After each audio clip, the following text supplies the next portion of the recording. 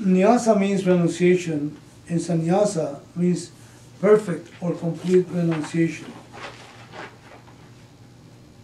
Thus, sarva karma sannyasa means perfect renunciation of all action. The renunciation being in the form of knowledge itself. This knowledge is not possible with a certain mind. Such a mind is accomplished by karma yoga, performing action with a proper attitude, as we saw in the previous chapter, and we'll see again in this chapter. Karma yoga ena- enables you to give up all karmas in the sense that it becomes a means for sarva karma sannyasa. So, why is it why is it called perfect? Perfect uh, uh, or complete renunciation? Why is it called perfect or complete renunciation? What would be the opposite, per, uh, imperfect and incomplete renunciation? That's the, the opposite. Because it's saying perfect and complete, so that means there must be an imperfect and incomplete renunciation. What makes the difference? That means Raga Dvesha, incomplete renunciation means even though he calls himself sannyasi or renunciates, he still is influenced by Raga Dvesha, it still hasn't gone away. Okay. And that's the reason he is not exactly sannyasi, he's, he's not happy in that state. Uh, let's look at oh yeah the, the angle is correct okay uh, raga dveshas are no longer affecting the person that is a sarva karma sannyasi but there is one thing and remember this renunciation this perfect and complete renunciation he says he says in the form of knowledge itself. Yes. Like Yes. he knows he is a karta. that's correct. The, the karta kartatvam is gone. Kartatvam is gone. Right? Uh, you see if, if a person is a sannyasi or a karma yogi the sense of kartatvam is still there Because of, that's what I mean, because of Raga Dvesha and stuff like that. yeah so so because kartatvam is there then raga dveshas are still functioning there and the person he is a enjoyer is also the bo- bhakti, bhakta, Bhogi. bhakti right mm-hmm. So, so incomplete or imperfect renunciation would be the opposite. Would be someone that takes on the cloth, goes to a ritual, and says, "I'm not going to be," you know. But then he still has a sense of doership. Now he's he's going for you know his his pursuit, his sadhana, his self, his knowledge. But it is not accomplished. You see, the, the, the, the fellow has not dropped the shadow. He's still involved in the shadow. He thinks the shadow is himself. You know, whereas the hankar is there. Identity is still with the not self. That's what karta means. You know, the identity is still on the doer. Now, this sarva karma sannyasi then, does it belong only to the sannyasi? No. Okay, uh, who can be a sarva karma sannyasi? In other words, perfect and complete renunciation. Karma yogi. Karma yogi also. Uh, any one of you. Any one. Samsari. married and That's right, that's correct. Also kamya karmi also. That is kamya karmi. No, well, a kamya karmi is someone that is not a karma yogi. Yeah. But then we are, are we karma yogis now? Well, that, that's the question. It depends what where the where the commitment is. Yeah, it is kind of confusing because see, you feel karma yogi is the one who follows dharma and then, you know, I mean, we know all that, but I don't know if we are perfectly at that. A person can follow dharma and and not be a also karma Radha yogi. Vesha, you have to be, per- uh, I don't think I have reached that stage. Okay. Now this is a good question. Yeah. It's a good question. You know, think about it. Think about it. So here is this person, you know, any one of us, that is functioning in the world. And um, and then the question is, you know, who is a karmi karmi and who is a karma yogi. Now, uh, the the karma yogi is still is is going to the purusharthas. Purusharthas means, you know, he's still seeking artha, which is security and all that stuff. But, you know, he's doing it. His aim, his focus is on is on the pursuit of self knowledge. And and, and, and committed to self knowledge, then he he's in, in, in the process of uh, attaining a mind that will be fit for self knowledge. That's a karma yogi. And, and for that, the person then takes into account Ishvara is the, is the karma phaladata, the giver of the results. And not only that, he sees Ishvara in Dharma, so he aligns himself with Dharma. Now, so that will be a karma yogi. So the fellow is his, his intention or her intention is absolutely committed to the pursuit of self knowledge. Now, the other person could still be a dharmi, a dharmi person. Okay, it says it's still dharmi. The, the harikol is the the, the and he acts according to dharma, you know, religiously and this and that. Why? Because he's not seeking self knowledge necessarily. He might be seeking what? Heaven. He's not a karma yogi. He's seeking, you know, uh, still artha and kama. He wants to cure you know, uh, heaven, so he can enjoy heaven. Moral, morality is also his, uh, his pursuit also, but it's for the sake of punya papa, that's what it is. See the idea? And he might be a good person in which uh, ragadvesha doesn't control too much. You see what I'm talking about? You know, he's not under the sway policy of ragadvesha for the sake of heaven. And remember in heaven you still have you still have, uh, you know, uh, this artha and kama. That's included in that. Now, it sees death as moksha. It sees heaven as moksha, right? Normally. That's the religious uh, attitude, salvation. And, uh, but, but the karma yogi, you know, doesn't take heaven into account. He doesn't want heaven because the 70 knows now he's been unfolded the knowledge. The fellow is, is getting it clearer, but one thing he knows that heaven is something he's not in, for sure. and then one day, maybe through you know proper you know dharma life and all that, then he will one day enjoy heaven. So he'll enter into heaven. And the person is that discernment, viveka. Now watch. What's the viveka? He says, hey, wait a minute, I'm going to be going into something. I'm not in it. So if anything you, anything you go into is something that is not there yet, so it is still limited in time and space and causation. So he doesn't want that. He wants the ultimate reality. So moksha, and then he doesn't see moksha as, as at the end after death. He sees that moksha is in the is in every one of the purusharthas. Remember what we talked about? He says if I'm if I'm secure, if I'm looking seeking for security, I don't want security itself. I want to be free from insecurity. If I'm seeking for for for pleasure or, or kama, it's not kama itself that I'm seeking for. Is, is for for to be free from uh, discomfort. So then moksha becomes the bottom line. That's the karma yogi. That's why I was doing this before. See, here's the karma karmi function in life is artha dharma, you know, artha kama and dharma, and then moksha at the end. Literally at the end, you know, when the person dies. Now, the, the, the person that develops some viveka, he's still, you know, uh, living a life that is dharmic. He's still taking Ishvara into account. But now the person is turning around. Look at this, please. Remember we did this? Now, at the forefront, moksha is a, is a pursuit, and moksha in terms of knowledge. So the person needs that if he's going to do anything, it has to be within the realms of, because he wants to be fit for self knowledge. See the idea then? So, uh, Kamya Karmi is not seeking moksha in, in this sense.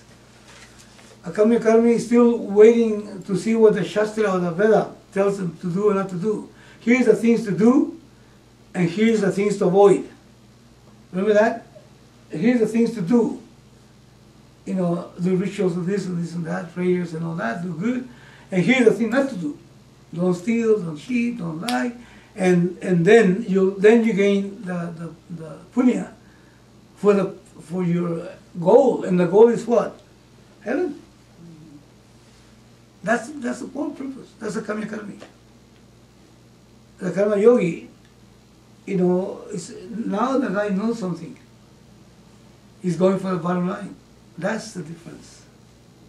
He's still self-control and everything is there, but it's for the sake of being fit for self-knowledge. That's why he's saying right here at the end. He say this knowledge is not possible without a certain mind. See, this knowledge is not possible with a certain mind. Okay, and then, uh, and such a mind is accomplished by karma yoga, which means performing action with a proper attitude, as we saw in the previous chapter, and we'll see again in this chapter. So,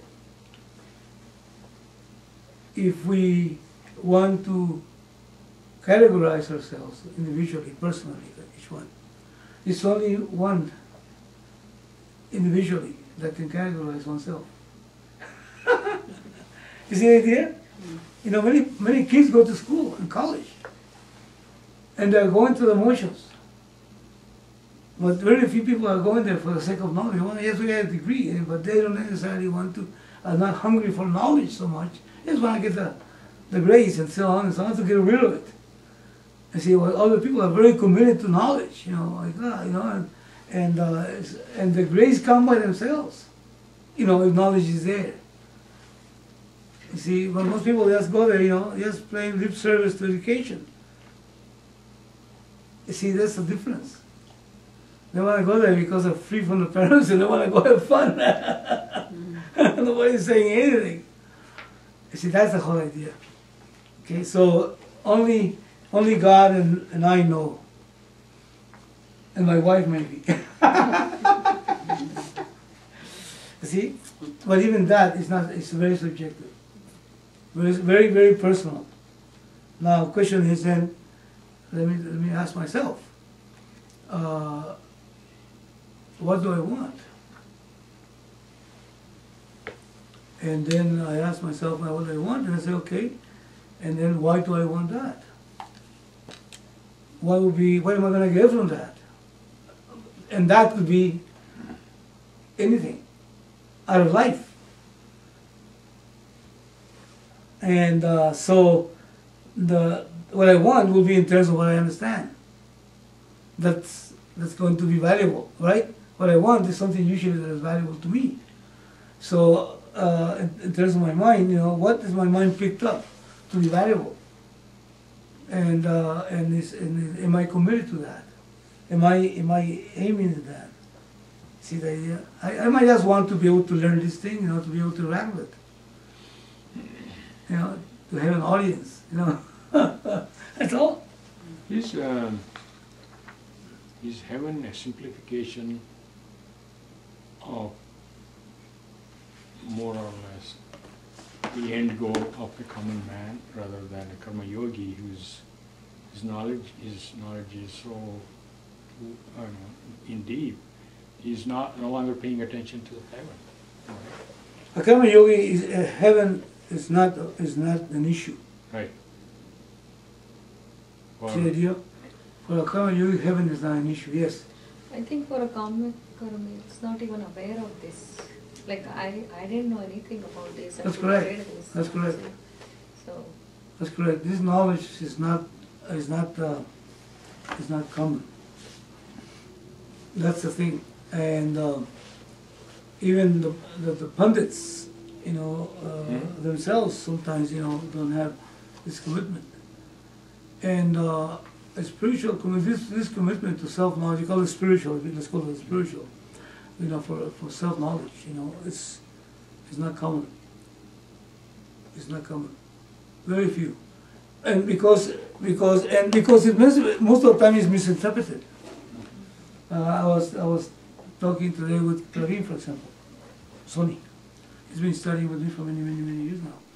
And at the beginning, when he first started, and his father found out, you know, that he was taking Vedanta, you know, he was a very educated fellow, and he went to universities and all that, guy has PhD and all the stuff. Now this guy is studying Vedanta, my guy is going to become a sannyasi. he's going to become a, and people will tell you, say, hey, how come you're studying that stuff? You're not a sannyasi yet. You know, you have to wait for the, how do you call this, the different stages to go through. And, and, and his father really thought that he was going to take off because he was studying Vedanta. See, so there's misinformation about it. So people don't even want to touch the subject because they don't know, they don't understand. And and I think that the, the beauty of it is that that people like Swami Chinmayananda, Dayananda, and some of the teachers have come to make this clear. And that means that uh, you're not excluded from that. As a matter of fact, you know, every human being wants that, whether they realize it or not. Every human being. But it requires viveka, some discrimination to do that. And the viveka comes the consequence of a, of a, slap in the face by life or by association of ideas. What the heck is this about? And most of us, even when we get a slap in the face by life, we hit the wall, you know, uh, you know, we don't, we don't seek it. And if we seek it, it's, not available like that, easy. Because nobody has a shingle someplace saying, you know, self-knowledge school. See like that? Not something you find in schools. See the idea? So that's why you, you, most people don't know about it. And it's not that somebody's keeping a secret, it's just that it's not that, that obvious. Yeah. Even though everyone, everyone, everyone, everyone is seeking that. And everything they do, all the things they avoid, because they want moksha. But they don't realize it. They think that they don't want this or that, or they want this or that. That's difficult to, to discern. So you need to have someone or something. Sometimes books will make people think. And they get somehow introduced to this thing here and they become seekers like that. And but then again is is grace. It's, it's God's grace that somehow we're able to have access to the right information. Very difficult. Think about your friends. You know, they might even question, what the heck do you do something nice for? How come you don't come? Oh, we have Vedanta class. Come on, you know, it's gonna be fun here. And then you then you come. You've been coming for so many years, you know.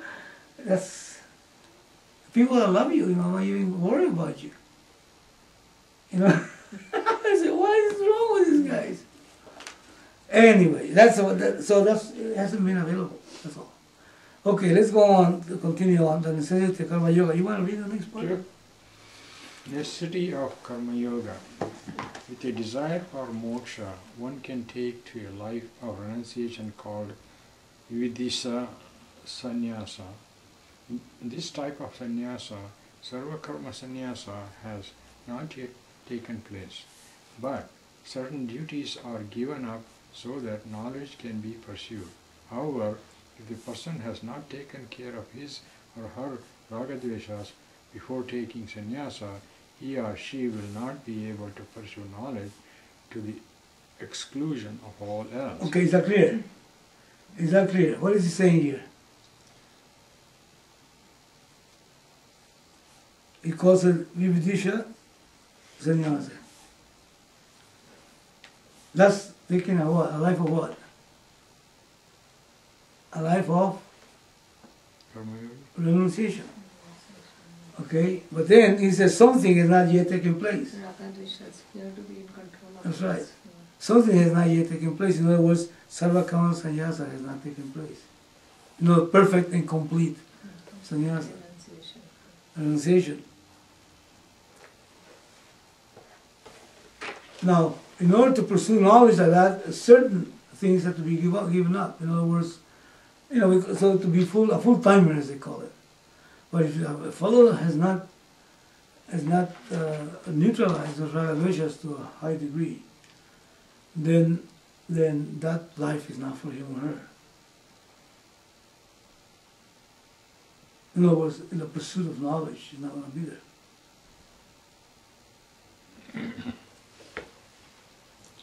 so you can want, you can desire moksha. You can figure out that that is what you want. And you can take up the the cloth. But if raga dveshas are not being under control, but it's gonna go home and get married and get a business and pay your bills or whatever. Moksha, the way I look at it, moksha is a state of mind. It's not a state of mind, no. It's not a state of mind. Okay.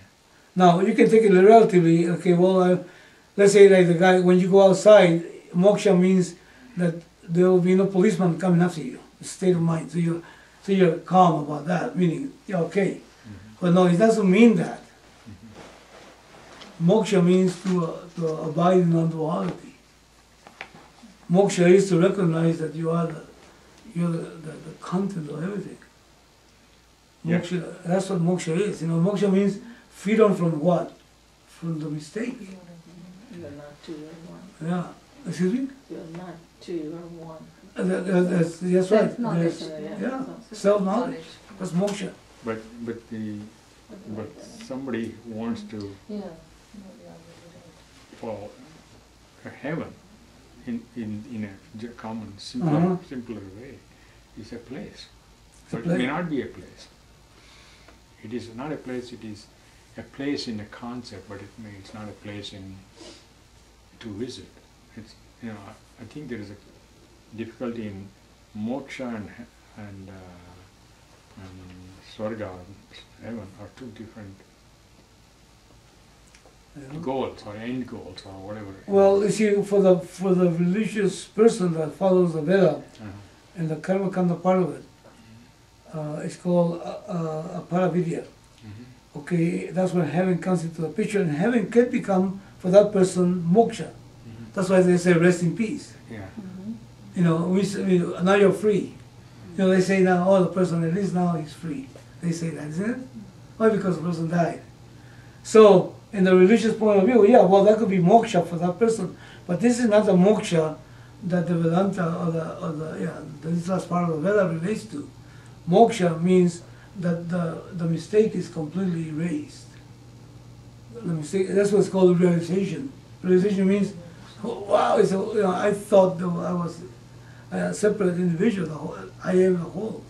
The way he recognizes himself as H2O and he sees himself everywhere. That's what moksha means. In other words, a mistake is gone. That's what it is, moksha. Yeah. Mhm. But in, in a, in a simpli- simplifying it, moksha person who instead of what do you call a situation that is, it could be any age. Whereas swarga or, s- or heaven, basically, we are all led to believe at the end of your life. Right, gonna go. right. So there is a big time difference. That's correct, you know, that's correct. Understanding the- what it is. Yeah, that's right. And uh, and it is because it is because you know uh, the, the the idea of, of oneness of, of you know the totality is one you know is not there. So we still see myself and God. So this moksha can occur before you die. You can you know this, this mo- moksha is a fact now. Yeah. Right. But the other moksha, that's. The, that, the other moksha, the death, yeah. that, that, that's just uh, the, you For the know, kamya karmi. yeah, but karma karmi, yeah. Yeah. the person that's seeking, you know, uh, a life of religion only, without knowing this is called aviveki. You know what I call it? It's called aviveki. Aviveki. The person that's that's guided by beliefs. And uh, here, the person that uh, if there is a belief in in Brahman as being yourself, but that is a belief that can be confirmed, that can be verified. And it's a belief while verification takes place. The other one is a belief, you know, that cannot be verified. That's, you know, that's, that's the difference. So we're not talking about the religious moksha that we normally know about, the normal everyday moksha or salvation or heaven thing. This is not talking about that. Okay? So this karma yoga is a preparatory means. It's called sadhana, right? It's called you know because anything that you that you that you, you pursue with a, with an end, it becomes sadhana. You see, sadhana means something that needs to be, that, that is pursued with an end. Something to be achieved. Something to be achieved, that's correct. Okay, let's go on to the next one. Okay, uh, taking sannyasa. Taking sannyasa is always possible because it is open to choice. If you are a mumukshu and there is a choice between a life of renunciation of activity and a life of action, why should you perform activity? Since you are only interested in moksha, which can be gained by pursuit of knowledge alone, why would you not take sannyasa and pursue knowledge alone? Because if you have not taken care of ragadveshas, it is not possible to do so. Okay, there it is. The key is ragadvesha here. That's correct, ragadveshas. And what does it mean by taking care of ragadveshas? What does it mean by that? Neutralizing. Neutralizing meaning? They don't play games on you. That means you don't. You're not under their whims. That's correct. It's called mastery. Mastery. Remember we talked about instinctive, mechanical, mm-hmm. Spontaneous. Deliberate. Deliberate. Deliberate. Spontaneous. Spontaneous. yeah. You know, um, instinctiveness is mean according to the feels good, then I do it. right? It's instinctive. Or, or, you know, mechanical. Again, you know, there's these likes and dislikes, and I just go by, you know, by them regardless, you know? Like, what the heck? That's, that's instinctive. Now, now, deliberateness means what? So the urge comes. You know, instinctive you know, I'm a male as a female, and so on and so on. You know, I have a, a desire for, for sweet, and there's sweet, and so on and so on. Okay, or I have a, a an aversion to work, and, and, and so there's work, and I got a problem. Okay, and that. Hey, that means the person then, even if he has aversion for something, you know, it does not get ruled by the aversions. Aversion means I don't like it. You know, even if the person has a, a an attraction for something, you know, the person doesn't go for the attraction. In other words, attractions and aversions don't rule the person's life. If the person doesn't have not matured, evolved, you want to call it, to the point in which these attractions and aversions, you know, uh, don't rule the person, the person has no business pursuing sannyasa. Now, and then where do you, where, in what field do you deal with those? You feel, you do it in the field of everyday living, taking care of, your, of life, you know, in, in, a, in life context. You see the idea? Let's say, for example, uh, I give up, I give up being a millionaire. You know, I'm not a millionaire, so I can give it up. you see? I give up a millionaire. In other words, you know, uh, you cannot give up something you don't have. So you're in the midst of it.